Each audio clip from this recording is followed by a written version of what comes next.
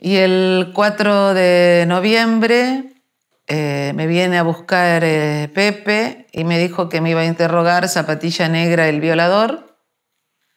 Yo en ese momento tenía puesto un camisón y una bombacha negra y me dejan en, un en el pasillo sentada en la escalera, en el último escalón de la escalera, y yo por abajo del tabique espiaba las, se acercaba, quién tuviera zapatillas. Bueno, llegó un tipo con zapatillas negras, me llevó a la enfermería, me pidió que me acostara, me dijo que me acostara en la, en la camilla, yo le dije que no me iba a acostar, me preguntó si sabía quién era, yo le dije que sí, que era zapatilla negra el violador, y entonces él me dijo, bueno, entonces sabes lo que yo te voy a hacer, yo le dije que él no me iba a violar que podía, por la voz podía ser mi padre, bueno, me preguntó cuántos años le daba, le dije más o menos, y me dice, bueno, está bien, sentate, y me sentó en una silla y nos separaba la camilla, él estaba de un lado, estaba del otro, y me metió un cigarrillo particulares sin filtro, y me preguntó el nombre de, mi esposo, yo le dije que era Hugo Alberto Scutari, él me dijo que no tenían a nadie registrado con ese nombre, que seguramente se había escapado o se había ido del país.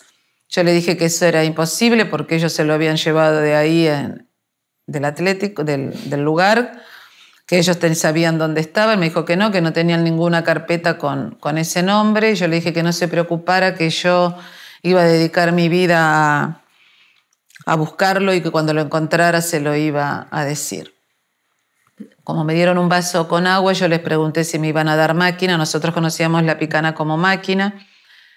Este, me dijeron que no, que lo que ellos me iban a dar a mí era la libertad. Y yo le dije que era muy feo que me dijeran una cosa así, porque ya me habían dicho que me iba a ir y nunca me iba, que hacía 92 días que yo estaba en el campo y que nadie me decía que me iba a ir. Me preguntó cómo sabía que hacía 92 días que estaba ahí. Yo le dije que si iba a mi celda iba a encontrar las 92 rayitas que yo había hecho en la, en la pared con la cuchara. Y bueno, me dijo que no, que me quedara tranquila, que esa noche yo me iba a ir. Entonces yo les pedí que me dieran ropa, que no me largaran en camisón, porque pensaba, si me largan en camisón de noche con esta pinta, este, me va a agarrar un patrullero y me van a meter adentro de nuevo. Entonces Zapatilla dijo que sí, que me dieran ropa, pero que me dejaran la bombacha negra. Vuelvo a la celda, la colorada también se iba a ir ese día en libertad, así que las dos nos abrazamos y pensamos en lo que íbamos a comer, la Coca-Cola que nos íbamos a tomar, la pizza que íbamos a comer, todas las cosas que íbamos a comer.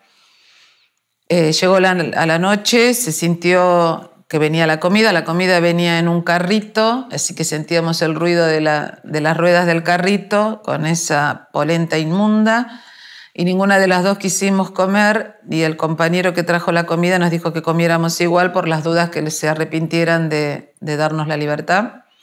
Así que comí por última vez en mi vida, porque nunca más probé polenta, este, la polenta del Atlético.